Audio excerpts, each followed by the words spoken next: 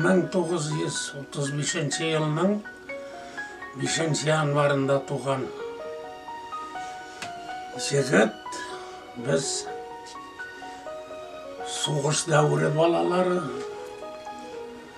соғыс уақытында бек көп ауырлықлар көріп өскен кісілер біздің ауылда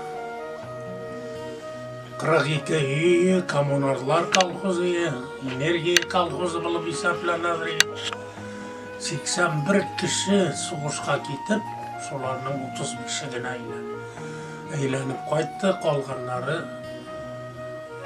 қырда тұрып қалдылар соғысадан біз бек ауырлықлар көріп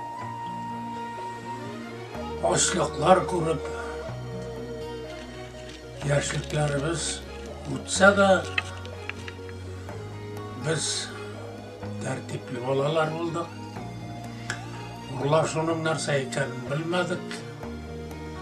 біз түлкі яланнан балтырған қышыртқан сүгіндір япырағы соларын оңашап өскен кісілер солай да біз үйресмедік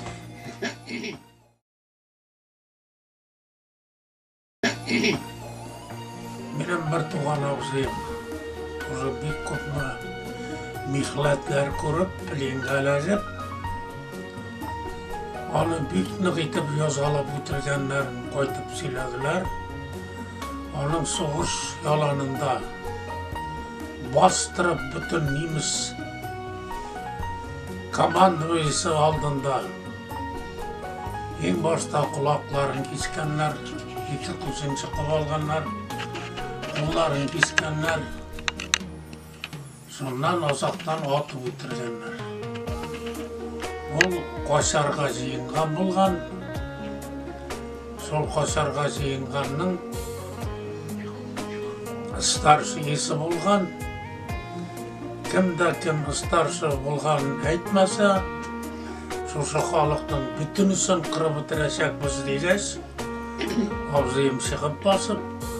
өзен фарш етіп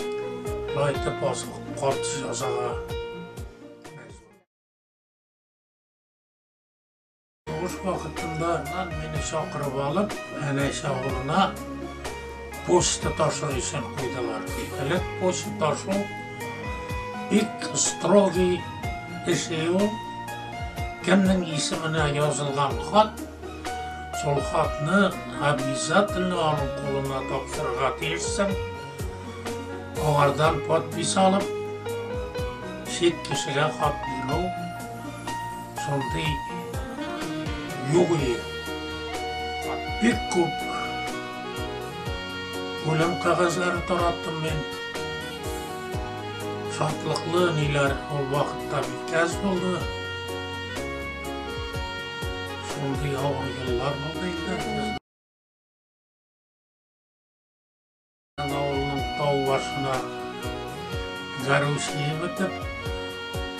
бомбар гировщик келіп түскен ол аны менің әкем әрі колхоз рәисі ол уақытта оларны хабар етіп арестовать етіп военкоматқа алып кетіп бізге квартираға қойдылар олар гаражи кетіргенше он беш жиырма күн тиралары бізде яттылар әйбат солдатлар еді енді. Соларны да көрдік. Ауыр болды ауыр болса да төздік. Соғыс жеңдік